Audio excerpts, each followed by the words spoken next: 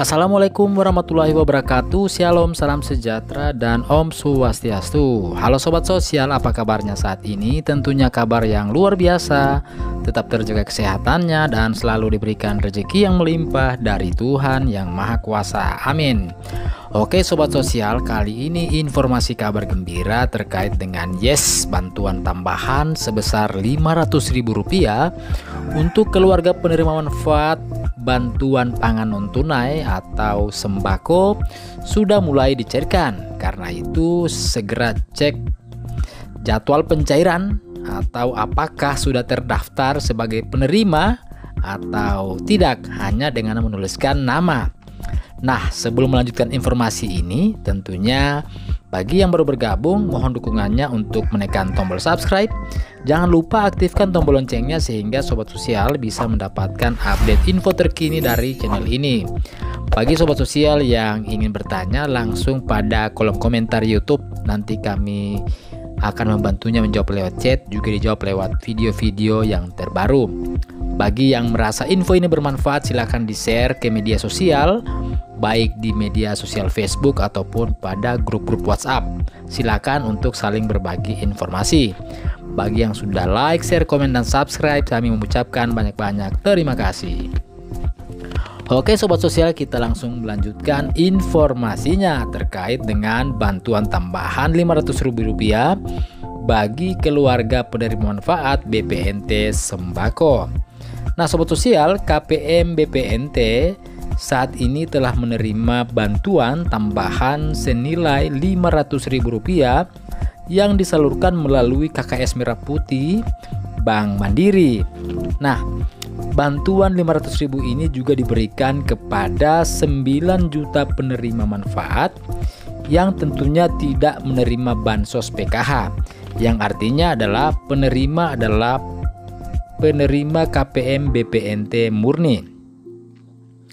Sobat sosial saat ini terpantau eh, penyaluran melalui KKS Bank Himbara, salah satunya ada di wilayah Jawa Barat dan saat ini sudah dilakukan proses penyaluran dan telah menerima bantuan sebesar Rp500.000 melalui KKS Bank Mandiri.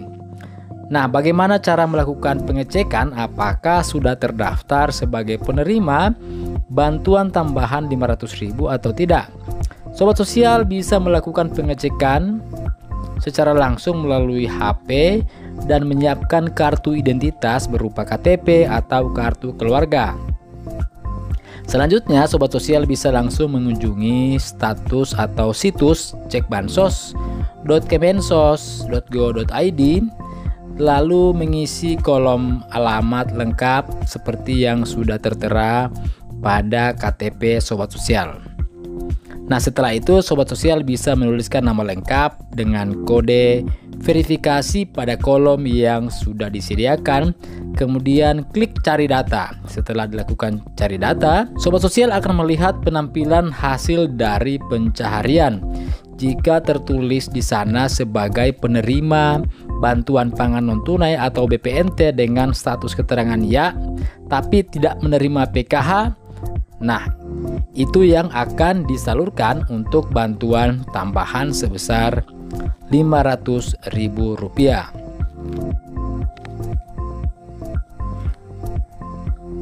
Penyaluran bantuan ini dilakukan melalui dua metode yaitu transfer bank dan juga melalui tunai.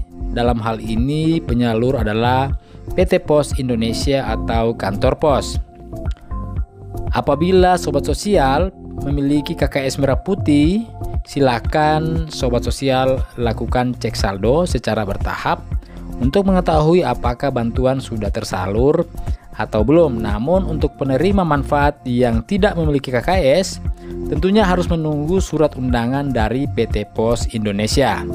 Nah, sobat sosial, demikian informasi terkait dengan bantuan tambahan sebesar Rp500.000 untuk KPM BPNT murni sudah akan mulai disalurkan di bulan Januari tahun 2024. Nah, sobat sosial, itulah informasi terkait dengan bantuan tambahan sebesar Rp500.000. Semoga bermanfaat dan bisa memberikan edukasi bagi kita semua. Terima kasih, salam sosial, dan salam PKH.